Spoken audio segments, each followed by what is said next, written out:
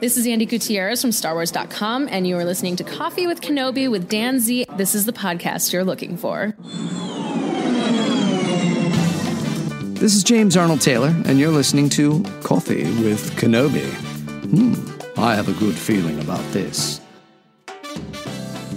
Hello, my friends, and welcome to this special episode of Coffee with Kenobi. You are about to hear audio from the Star Wars Visions press junket that I was fortunate to be a part of. Myself and a number of Star Wars journalists were able to interview James Waugh, the executive producer of Star Wars Visions, and Kanako Shirasaki, who is a producer on Star Wars Visions. They were able to share their insights into the making of this incredible nine episode season. Star Wars Visions is tremendous. There's going to be so much coverage. You can certainly find the spoiler free review on Coffee with Kenobi's website that I was able to post a little bit ago. And then later this week, Holly Fry from Full of Sith and James Burns from Jedi News join me as we take a more in depth approach at looking at these episodes specifically. But for now, let's jump into the Star Wars Visions press junket. Pull up a chair, grab your favorite coffee mug, and let's have some coffee with Kenobi. So, the first question that was asked for the Star Wars Visions Press Roundtable was from another Star Wars podcast. The hosts are Melissa and Matt Thomas. And Melissa wanted to know when the idea for Star Wars Visions came up, what was it like to blend the two, or was it much more seamless than originally anticipated? And as I said at the top of the show, James Waugh and Kanako Shirasaki are the two that are talking and sharing their insights for these questions themselves? Yeah, that, that's that's a great question. I, I I think in truth it was actually pretty seamless. And what I mean by that is so much of Star Wars is influenced by uh, a, a, similar uh, cinematic language as, as anime, and, and a lot of that is Kurosawa and Geki films, and and you know a lot of Japanese cinema. And so uh, I think in many ways these things really spoke like harmonize and and to to that point, I think we've been inspired by anime for a long time. I, I, don't think it's any secret that a lot of our a lot of our work. It's very clear that you know there's a deep love for uh, Japanese animation at Lucasfilm. There has been for a long time, um, uh, George included. And so I think you know it, it was not what the the the challenge was really more about finding the excavating the Star Wars heart and soul and, and making sure that when we say what is anime, each of these stories and each of these studios really tell uh, have a different t- tone and a different feel. And um, you know, it really hopefully paints like the broad swath of like all the diversity you get with anime. Um, so it's really just finding the heart and soul of each one of these stories and helping these creators uh, tell the best Star Wars story that was as authentic as possible. But uh, you know, at its core, I think the imaginative world building of Star Wars is very similar to what uh, anime creators are doing, and this the the very visual cinematic. Uh, language and, and action sequences uh, that anime um, is known for is very similar to what uh, George was doing, and we've carried forward in uh, current Star Wars storytelling. Yeah, definitely. Yeah, I agree because uh, it's all the creators are hugely influenced by Star Wars. So, and then they love Star Wars so much. So when we're talking about the story and ideas, like they know what they want to do, and then they know what's the uh, essence of the Star Wars universe. Um, so yeah, so it's pretty seamless yeah and it was very interesting uh, we have a very great conversation go back and forth between the studios in the production yeah and they they were all i mean that's a good point kanako. Like literally every conversation we'd sit down and i felt i felt you know a kindred spirits because the conversation usually started with the director talking about oh, I saw, you know, Star Wars 1977 in the theater, or I saw Phantom Menace, in, you know, in, in, in the theater in 1999, and it changed my life. And I realized I wanted to do that too, and I wanted to create worlds like that. And you know, it's kind of it's that moment of like, oh yeah, I, I know that feeling, you know, and everybody that I think you know touches Star Wars knows that feeling. Then it was my turn, so I'll just let myself ask my question. Here we go. Wonderful. Thank you so much, James Kanako. Pleasure to chat with you this evening or this day or wherever we are in our time zones.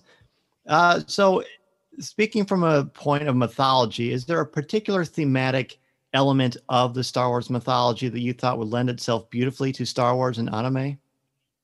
Hmm. Uh, gosh, you know, I, I the, that's tricky in the sense that I don't think there's one specific story. I think each of, I think a lot of these different stories tell mythic Star Wars stories that could that fit anywhere within Star Wars storytelling. A good example is The Elder. Uh, it is uh, masters and student stories, or is Star Wars as it gets um, and understand of passing back the knowledge and having to train as is uh, uh, Star Wars as it gets, and and and you know seeing the difference in generations. Uh, on the other hand, something like a Tatooine Rhapsody is a story about a dreamer and found family. Um, you know, uh, that's Luke Skywalker. He's a dreamer who finds a family. And same as you know, it's it's rebels. Uh, you, you, know that so all of these stories have human stories. Uh, T0-B1 is a story about it's a pinocchio story. It's a you know it's a boy that wants to grow up to a droid that wants to grow up and be a real jedi. Um, so they're all mythic is the the truth and i think that's why they're authentic star wars stories we approach it from that place first. What is the basic and look we we have the the the benefit of working with people like Dave Filoni and the, the, the people who have like been here a long time and uh, have passed on their knowledge. Um, so you know we get to pay it back, pay it forward. Up next was Sandra from Fangirls Going Rogue, and she wanted to know what the creative parameters were for looking at and creating these individual episodes themselves. So it was very uh, open to, yeah, and we ask them to please explore your imagination and tell your uh, perspective and tell your uh, own story in Star Wars Galaxy. And that's how we see, uh, that's the idea we received. So we were fortunate that every single director gave us like very distinctive ideas and perspective and their interpretation of Star Wars stories yeah, I, we wanted it to be a celebration of Star Wars on anime. Really, we we you know uh, whether if they wanted their stories to fit more on the timeline, like something like a Tatooine Rhapsody, um, you know, we worked with them to to uh, to help them make it feel like it's plausible and could fit into that. But we didn't want to lead from that place. We didn't want them to try to tell stories that were going to define uh, core Star Wars fiction. We wanted to really let them tell their stories and create new characters. And you know, certain stories like a Tatooine Rhapsody has a Boba Fett and a Jabba, but really they earn those characters and Bib. They earn those characters because the their characters are so good, and it kind of warrants leveraging these other characters. Um, but no, it was very free.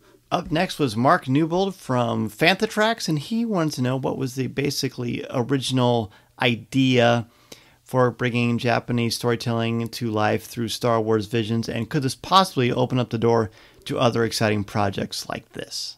Uh, passion, love of the medium. Uh, it truly was that. I mean, I, I, I, this certainly wasn't a cynical like, oh, anime is popular. This was we love anime, and like we we were looking for ways to to do that. Uh, and like I said before, we we didn't really know how to do that uh, in in this sort of world, the star in a very feature driven world. But when Disney Plus uh, became Disney Plus, and we saw that opportunity coming, and it was a whole new platform, we realized we could explore different types of storytelling um, and uh, lean into anime, which is something we loved. Um, it just happens to be a growing form, I think, because people are discovering what artistry is is is there. Um, will this beget further future anime things? I mean, you know, I, I, let's see the reaction. I, I'm hoping people love it as much as Kanako and I uh, do, and we'll know more hopefully next week. To provide some context for you, when James says that, he actually was referring to this week because this press conference was actually the week before Star Wars Visions came out. But up next, we have Brian Young from Full of Sith Brian wanted to know that in addition to Kurosawa, what are some of the lesser known influences that led to some of the moments and stories in Star Wars Visions themselves? Yeah, I, I would. Uh, I just just because you mentioned Dave, I'll, I'll, I'll riff a, a, second. I mean, I've been fortunate enough to work with him uh, over the last number of years. you know, I, not as much as I I, I would love, uh, but you know, uh, I have learned a lot. And what I have learned from him is that he focuses on what's a story you could tell, or what I found is he focuses on a story of what could you tell without the Star Wars first. What's a relatable human story, and then from there we can we can look at what makes it Star Wars and how do you layer on the Star Wars. Uh, the other thing he talks about a lot, and I, I think you see in this, is, is genre films and um, you know what were the influences of Star Wars. Um, and Kanako, I'm sure you could speak to this more too. But each of these studios are pretty steeped in cinematic like verbiage like they they've seen all the they've seen all the films and so like they had a point of view and hopefully you can see that in uh, Akakiri and The Duel, and it, you can probably reference those films uh, that they're riffing off of. Yeah, I think each director's, you know, they are super excited uh, working on this Star Wars project. At the same time, they didn't really overwhelmed by like you have to make a Star Wars uh, story. I think they uh, bring their very unique perspective to each short like village Bride, like director want to bring uh, the ritual like a more like a japanese like animism type of uh, concept to the story and Tatooine Rhapsody, uh, the director Kimura, like he's really young and he wanted to bring this like a rock rock band concept. So they're not shy about bringing their own perspective and what they really want to tell on the plot Star Wars platform. So I think that's that's also another reason why it's worked pretty well, I think. Up next is James Burns from Jedi News, and James, of course, will be joining me later in the week to review these episodes more closely. But he wanted to know about bringing in the Star Wars sound and music into these episodes, and then also asked as a follow up, will we get any releases of these great new scores themselves? Go ahead, Kanako, you should. Yeah. Oh, sure. So I'm glad you brought up the music and the sound. Uh, so music, like we didn't ask studio to like you have to find these type of uh, composers. They went to find like a best composer works for their short. Uh, some of the shorts like Village Bride and um, like a duo like explore the combination of orchestra and Japanese traditional music. The Ninth Jedi as like the two composer units are heavily inspired from John Williams. So they are like entire music is like a homage to John Williams. And like Akakiri, the sound is like from the uh, by a composer called U-zhaan, and he play he's a Japanese and he plays the Indian drum called tabla, which adds very interesting pers- perspective to the Star Wars uh, music. Uh, for the sound perspective, uh, the, all the lightsaber sound you hear is from the uh, Lucasfilm sound library. So it's authentic lightsaber sound, as he might have noticed. And some of the shorts did the sound mixing session with Skywalker sound. So that's also enhanced uh, authenticity in a way. And yeah, I'm sure you will find lots of interesting findings uh, as you repeatedly watch the show, and I hope you enjoy that. Up next is Chris from the Force.net, and he wanted to know if any of the characters for Star Wars Visions were created specifically with key actors in mind for the English dubs of the episodes themselves. No, I, I mean, we, our whole development and production philosophy on this was we wanted to really ensure authentic Japanese anime. Uh, and what I mean by that is we let the, the studios cast a, a, a original cast first, a Japanese cast. Uh, this is the sub versus dub debate you hear often in the anime community, uh, but it, it, you know that rendered the uh, initial uh, expression. What we ended up doing is knowing that we you know the, we wanted to make this as accessible as possible and we wanted to give people the option for the authentic original experience but also have a, a, a version that was uh, for people who didn't want to read, uh, uh, you know, the the movie or, or experience it in, in another language. And so we did what what has been done with Miyazaki films and a, you know a ton of anime is is is dub it.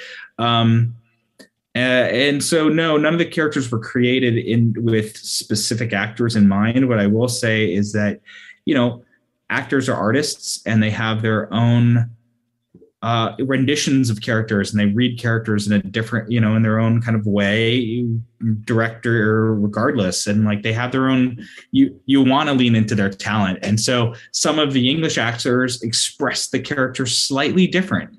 Uh, in a more new, a different way than than you would see in the uh, the, the the Japanese version. Um, and you know it, it's really cool to see uh, frankly. It's um, but none of them were created for these actors. I think what's exciting is a lot of these actors joined the project because they loved star wars and and just as much they loved anime. Another star wars podcast wanted to know about what was different about the preparation for this project compared to other lucasfilm works no i mean that, that that's a really good question i Uh, you know, again, this kind of goes back to the to what I was saying before. You, you approach these stories, I think, from what's a good story and who's the creator and how do you help the creator realize their vision. I don't, you know, we're not addicted. We don't really dictate uh, at, at, this company. We're not prescriptive.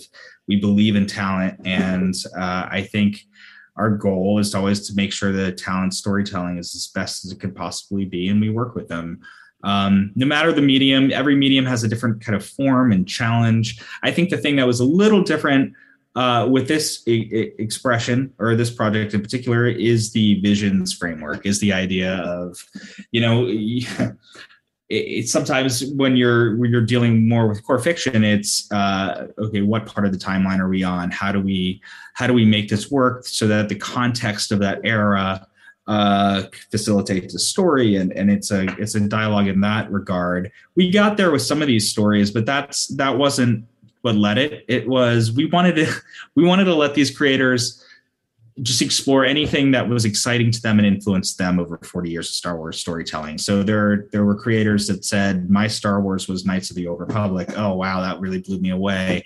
I want to use elements of that okay, that's that, that, that's totally fine. And there were creators that wanted to stay more in the pocket of kind of traditional, like you know, uh, the original trilogy. Um, so it was really more of uh, from that perspective. I think that was the difference. Really, is it wasn't so.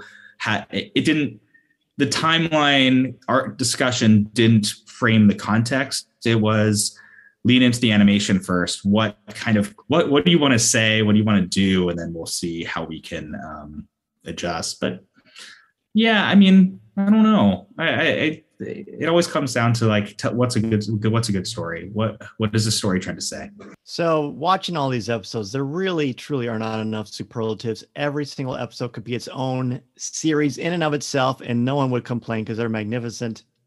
But we gotta talk about Tatooine Rhapsody and that incredible rock anthem, maybe the most significant piece of music since John Williams composed anything. People are going to go nuts for this thing. I just want to hear about the creation of that magnificent tune. Oh man. Yeah, so uh, I think the director wants to do uh, some 70s garage band feeling. Uh, so I think what they had in mind was uh, the Crash. Uh, I forgot the exact uh, song, but um, yeah, so he wanted to recreate that feeling. I think they, yeah, nailed it. very Ramonesy. It's it's super. Yeah, Ramones. Sorry. Yeah. Very um, super cool. Well, what I mean both versions are cool. So this is another uh, watch the sub and the dub because the the the sub definitely has the, the original sort of Japanese version. But one of the things that was super exciting was Joseph Gordon-Levitt loved the short and part of what he, he was excited about doing was to sing that song and to do his version of that song in the end. It's the same same song but man he sang his notes that was the coolest vo session i think i've ever experienced because it was just watching him you know just fall in love with it and rock.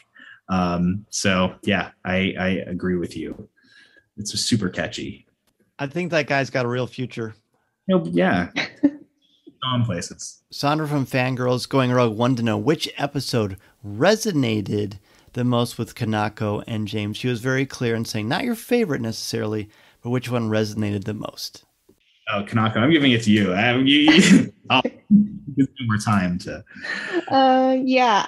Uh, when I whenever I watch the any like movies and I want I want to imagine like what's the other characters doing behind this like a main story. So from that perspective, like I really love watching The Village Bride.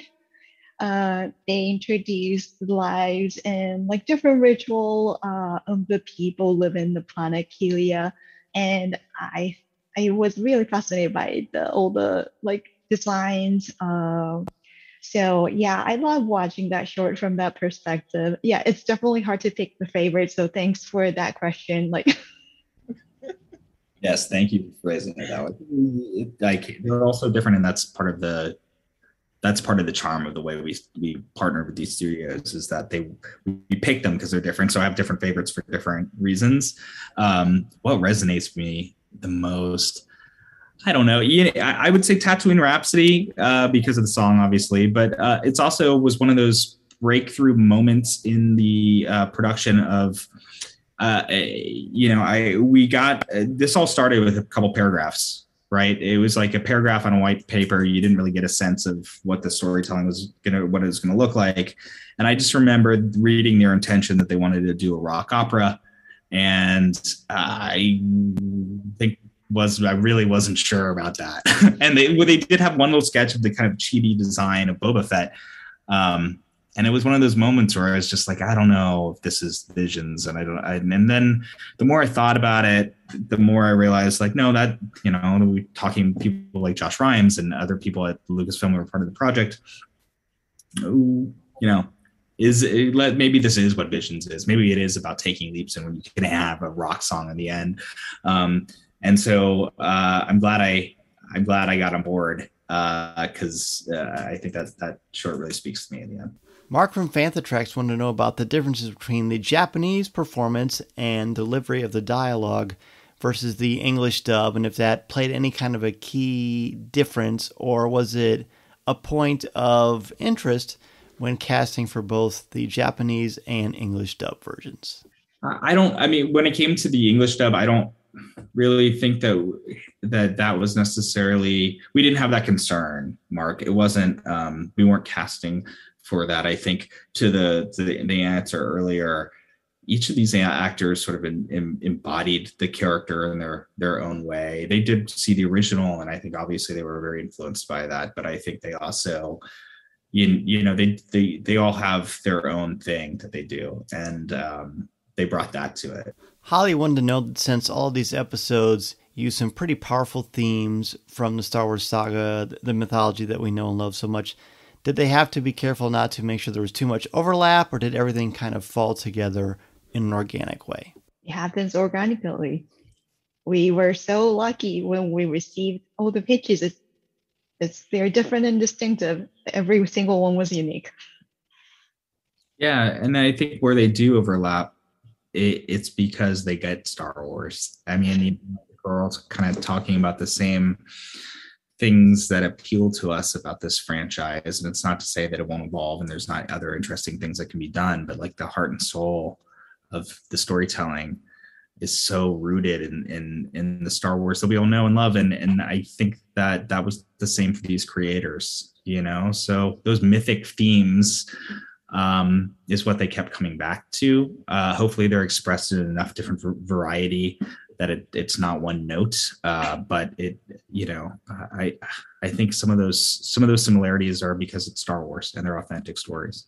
Again, that was Holly's question. Holly, of course, from Full of Sith, who will also be joining me on Thursday to break down all these episodes with James. Speaking of James, James is up next, and he asks an interesting question that you will know the answer to if you're listening to this when it drops but he wanted to know if there will be a making of or behind the scenes of these episodes that will debut on Disney Plus as well.